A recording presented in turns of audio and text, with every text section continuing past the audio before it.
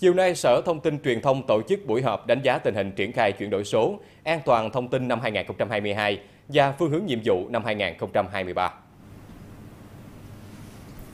Trong năm 2022, mạng diện rộng của tỉnh đã triển khai đến 100% cơ quan hành chính các cấp hoạt động ổn định thông suốt.